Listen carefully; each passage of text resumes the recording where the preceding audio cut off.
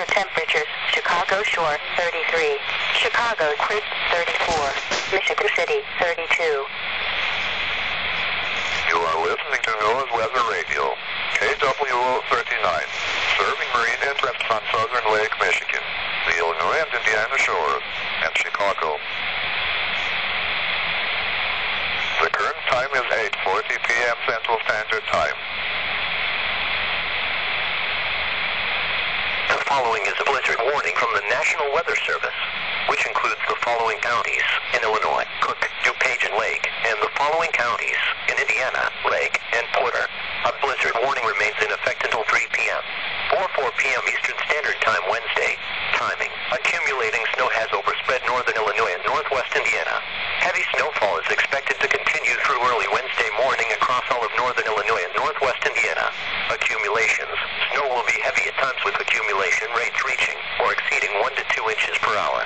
Storm total snowfall of 10 to 16 inches is likely toward Rockford and Dixon. The heaviest snowfall totals are likely downwind of Lake Michigan in the Chicago metropolitan area and into northwest Indiana, where 12 to 20 inches of snow is likely, with possible localized totals up to 2 feet. Winds, northeast winds from 20 to 35 miles per hour, with wind gusts up to 50 miles per hour. Even stronger winds are likely near the immediate Lake Michigan lakeshore with sustained winds of 30 to 40 miles per hour and gusts between 50 and 60 miles per hour. Blizzard conditions, strong winds combined with considerable blowing and occasionally heavy falling snow will reduce visibilities to near zero at times. Thunderstorms, isolated snow-producing thunderstorms may result in localized intense snowfall rates. It is not uncommon for snowfall rates to exceed 4 inches per hour and thunder snow making travel nearly impossible. Travel, road conditions will be treacherous.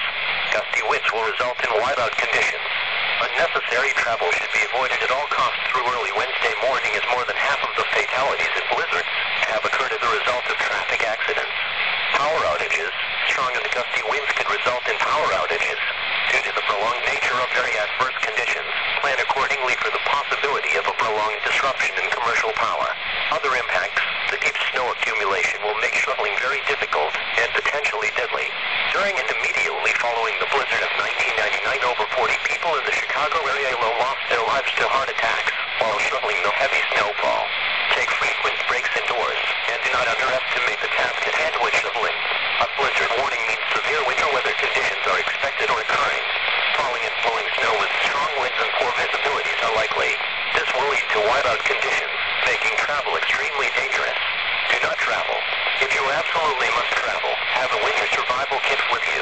If you get stranded, stay with your vehicle. Now here is the hazardous weather outlook for the Illinois nearshore waters of Lake Michigan and the Indiana nearshore waters of Lake Michigan. For tonight, gale force winds to 40 knots are likely through this evening for the Illinois and Indiana nearshore waters.